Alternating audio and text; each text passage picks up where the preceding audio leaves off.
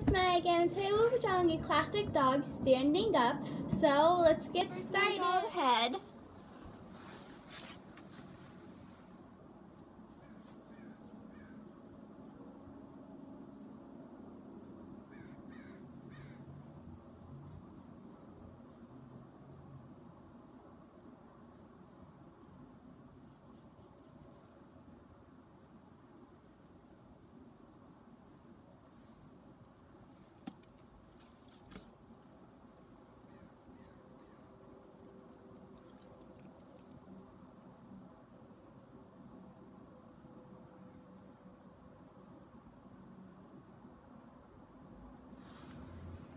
Then we're gonna draw.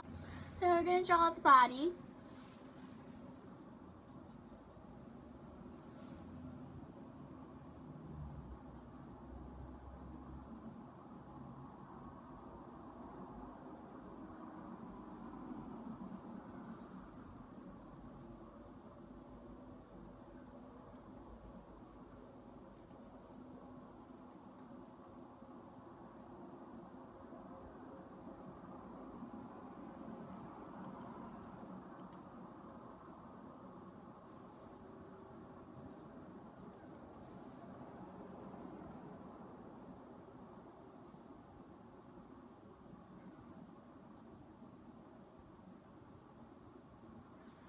Then you can outline everything if you want to, but if you don't, there's your classic dog standing up after it's all done.